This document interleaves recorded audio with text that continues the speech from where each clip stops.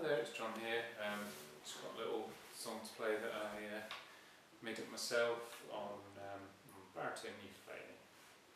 So here goes.